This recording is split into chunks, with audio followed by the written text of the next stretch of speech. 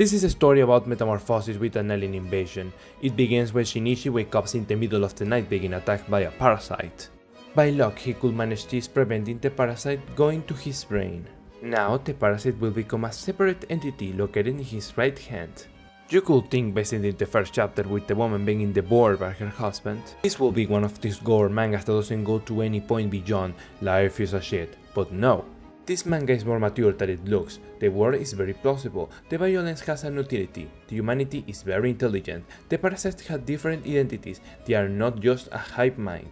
And their objective is to finish up the human race, but all of them have a different close-up in this issue. In general, the world building is very well done. The characters are very plausible, and the parasites are not overpowered giving sense that the human race can face to them. Even a normal human can face them with a little bit of ingenuity or certain knowledge of human anatomy.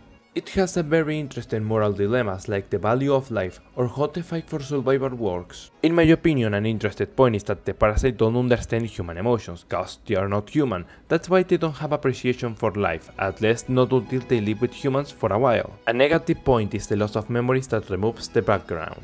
The solution is that these have a high interest in learning. But it doesn't make less convenient for a small being to understand the knowledge of languages and advanced concepts. Skipping the mention that the infected human doesn't affect the condition of the parasite. For example, Migi still have a high level of intelligence despite not getting into the brain, even when these are not his optimal conditions. Characters like the other half infected or the father are not important on history. It could be more interesting seeing your perspective and the relationship with the main character in more parts of the story. It's the same with the build and maybe another half infected could be more useful. The art is very well made, the characters are very different to each other. And very consistent, with the style not too cartoony like in Devilman. The Parasites have their own unique style, in my opinion, are not very repeatable. It's a 8 out of 10 and I really like to see someone to tries to overcome this manga. It will be an evolution very interesting and worthy to watch.